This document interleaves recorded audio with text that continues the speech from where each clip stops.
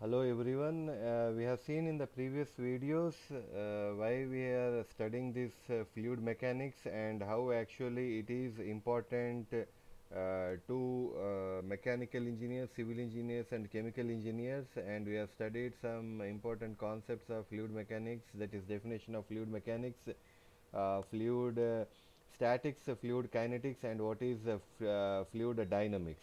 So in uh, today's lecture, uh, we'll be studying about uh, the common applications of uh, fluids and uh, maybe I'll try to create some kind of interest uh, in this particular of this particular chapter. Now here he- of this particular subject, sorry. Now here the common applications of uh, fluids, the first application is the hydroelectric power plant as uh, mm, um, we are not going to uh, have the in-depth knowledge of this hydroelectric uh, power plant. So I'll give you the some basic ideas about how actually we consider that uh, this particular hydroelectric power plant is as a common applications of uh, fluid. Now in hydroelectric power plants, now the main source to generate electricity is water and water is coming under the category of fluid. Now here the water is used to generate electricity on a large scale basis. Now here as you can see in the diagram the water here is stored in the uh, dam okay and uh, that particular water is actually uh, having some kind of energy and that energy is called as the potential energy. Now here now that potential energy is uh, converted into the electrical energy in the power generation unit of the plant. Now here this hydro hydroelectric power plant is one of the major power supplies of uh, the power uh, throughout the world. Now in some of the countries the total power uh, requirement of that particular country uh, is entirely uh, based on these hydroelectric power plants only. So as you can see here the water is flowing mm, with a kind with energy that is potential energy and the water is stored in the dam here and this water comes and strikes the blades of the turbine. I am giving the overall idea and the turbine uh, when it hits the turbine blades it rotates the shaft of the turbine and mm, the power is uh, with the help of the generator and the power is actually uh, generated and the electricity is produced. And the conversion of uh, energy to potential energy to electrical energy is taking place. And this is the overall uh, idea about hydroelectric power plant and in the second common application is uh, the hydraulic machines uh, um, you have seen in your uh, maybe at some part of your life you have seen these JCB machines and machines which are totally operating uh, there. Ha- in the previous example you have studied fluid uh, in uh, for generating electricity. And here the fluid is used to uh, generate a high kind of force to lift uh, uh, heavy loads. Okay so that is the concept. So here the fluid like water or oil uh, which is used to operate the which is used to operate the machines are called as the hydraulic machines. So now that particular fluid uh, which is used in that particular hydraulic machine uh, it has uh, the capacity to lift heavy loads and uh, it has the capacity to create a high amount of pressure. Okay. So that some hydraulic machines uh, which are used to perform various machining operations uh, with the help of these particular uh, fluids.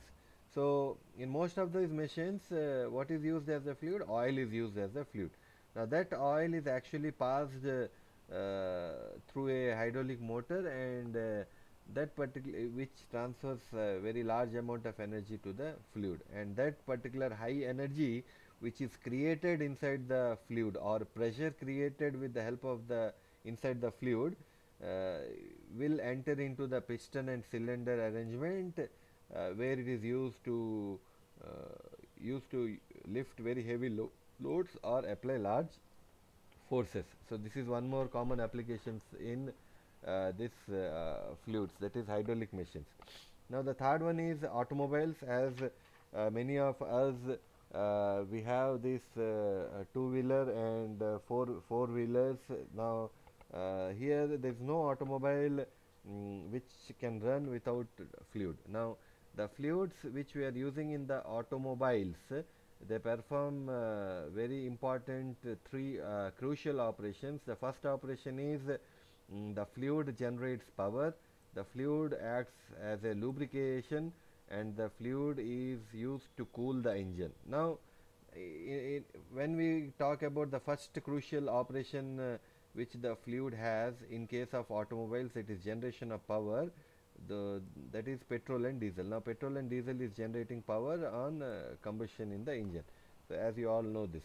Now second one is and this is uh, most commonly used as a fluid.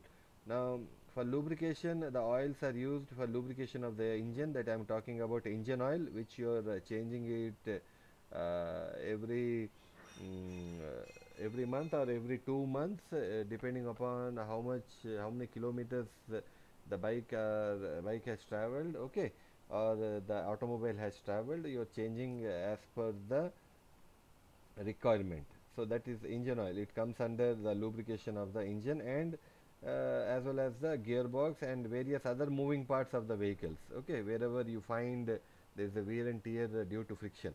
Now in case of uh, cooling uh, the engine the third important crucial operation mm, we will find in larger automobiles like cars bus trucks uh, now water is used for cooling the engine. Okay so mm, first one is hydroelectric power plant th- second one is uh, uh, common application is the hydraulic machines and third one is uh, uh, the application is uh, the fluid used in an automobile. I hope you are all understanding it.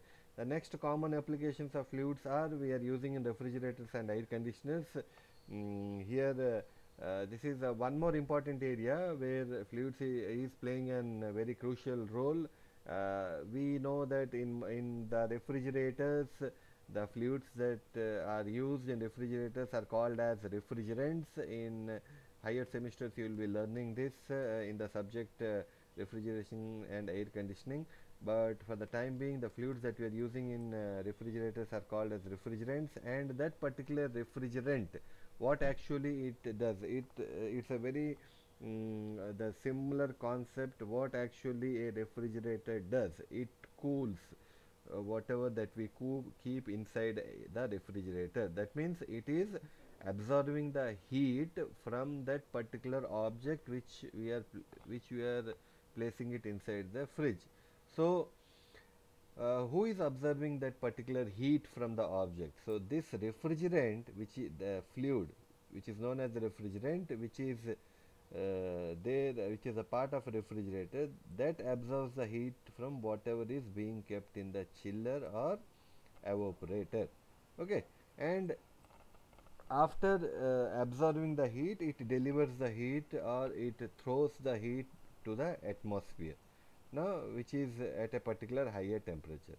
Similarly in air conditioner what the refrigerant which is a fluid what it does it absorbs the uh, it absorbs the heat from the room where and it throws it to the atmosphere with the help of the outdoor unit which we call it as the compressor. I am talking about the split ac so thereby there thereby keeping the room cool.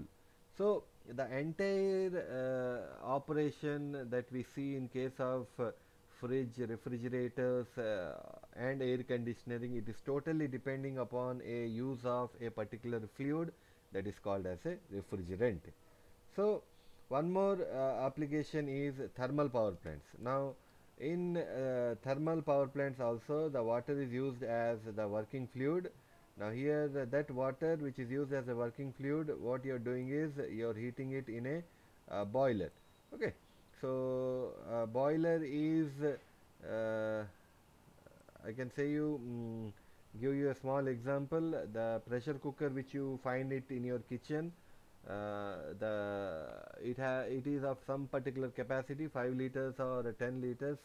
Now what I'm trying to say is in that also the water is converted to steam now here mm, one one thing I would like to say is uh, as per uh, boiler regulation uh, law um, you can say sir why uh, boiler is not called as uh, a pressure cooker and why pressure cooker is not called as a boiler.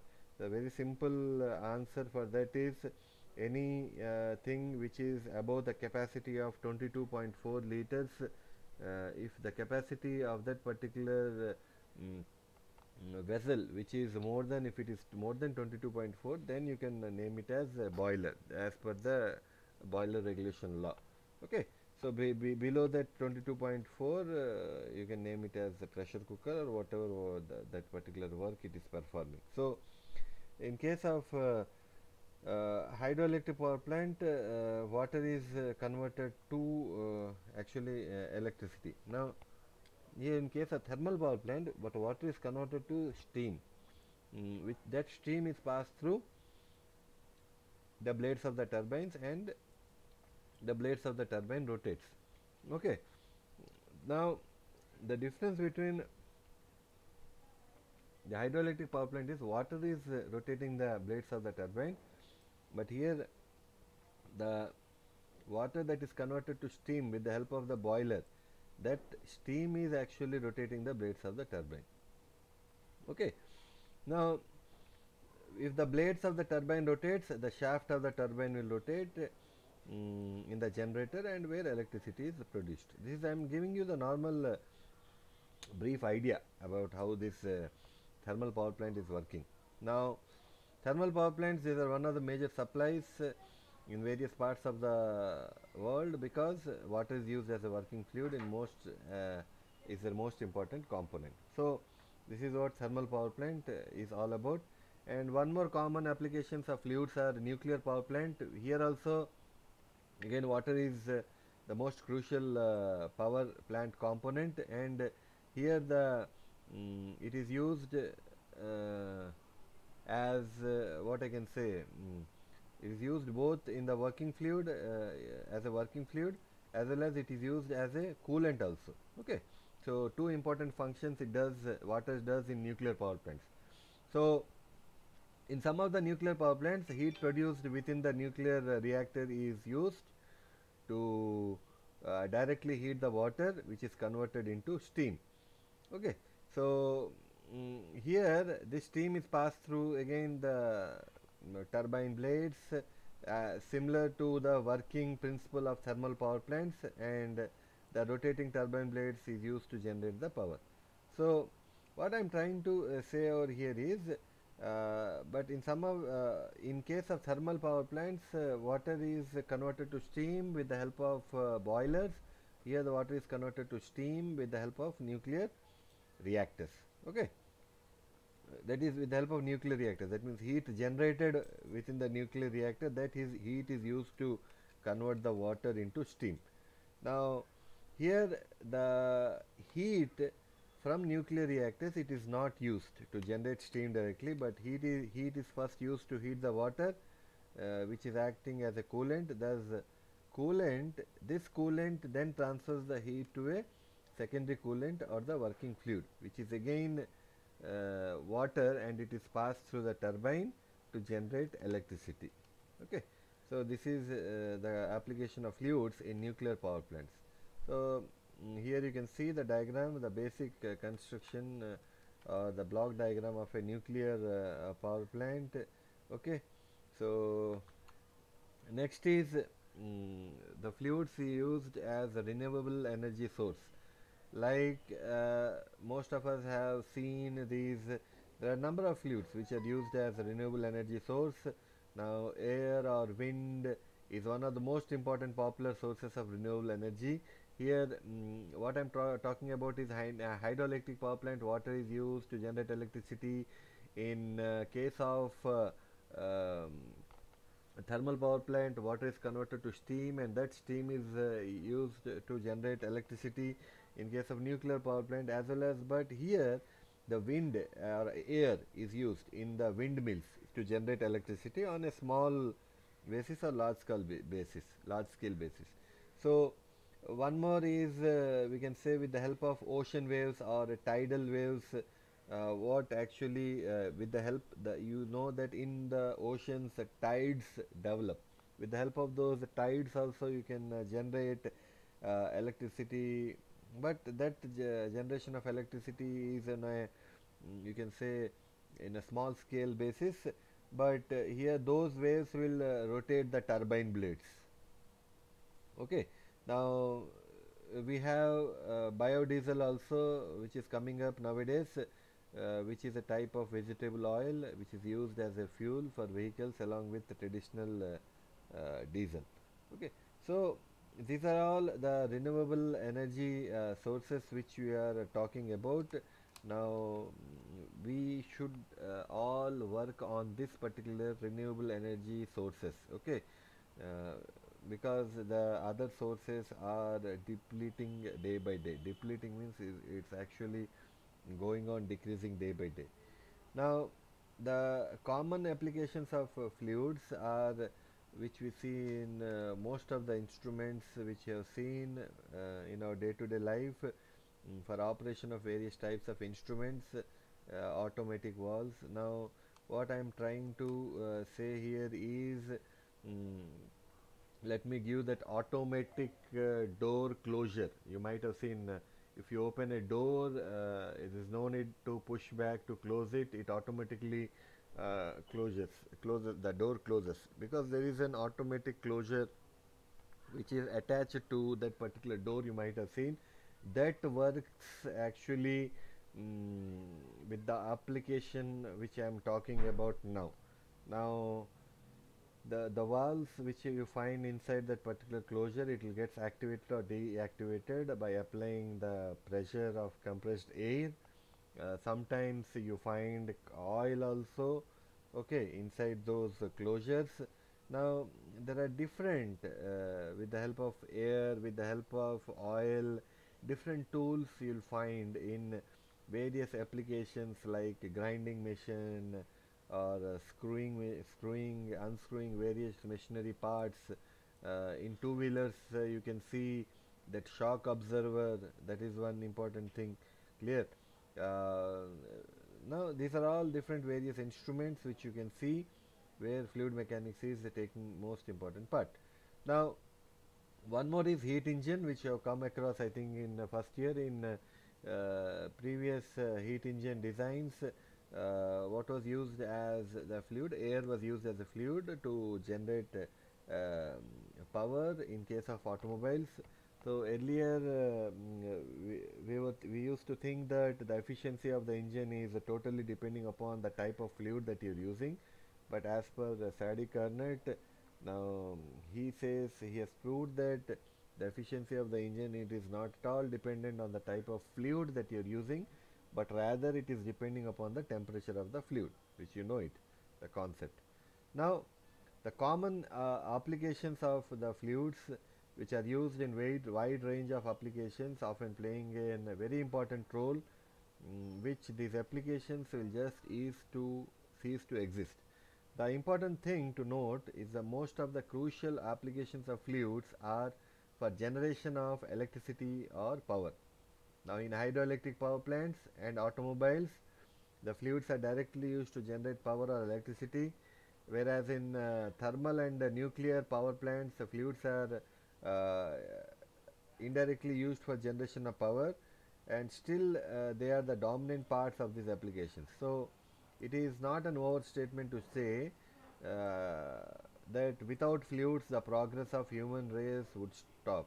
So I am not we are not at all or I am not exaggerating it by giving this statement that without fluids uh, there is no human race human race will stop no you, you can see the various applications uh, that we have studied uh, here in today's class so all these applications we are mm, without this particular fluid uh, I can say that we cannot live okay so these things already uh, we have studied in the previous classes. Uh, what is fluid mechanics? Why again and again I am saying is here is the most important subject where um, fluid mechanics is that branch of engineering where uh, it's uh, the study of fluids which is at rest and motion. Now in general uh, we talk about the fluid. Flu what is fluid is a substance which can easily flow and it can be a liquid or it can be a gas gases now now that branch of engineering which deals with statics kinematics and dynamics aspects of fluid is called as fluid mechanics okay so the study of fluid at rest is called as fluid statics and the study of fluids in motion is called as fluid kinematics. Okay and where pressure is not considered and the pressure forces are also considered for the fluid in motion where you are considering the pressure or force that is called as fluid dynamics. Clear? So uh, here in case of uh, the fluid mechanics is basically a study of uh, mm, as I already told you physical behavior of fluids and fluid systems and laws governing that behavior. So all all these things which you have come across uh, now mm, what are the kinds of forces that you see in case of fluids and uh, how actually the fluid is flowing in which pattern all all these things we are going to study in uh, future. Okay so the different kinds of applications which we have already gone through the applications of fluid mechanics okay? So mm, thank you. Thank you very much. In the next class we will start about we will read about the physical uh, properties of the fluid. Thank you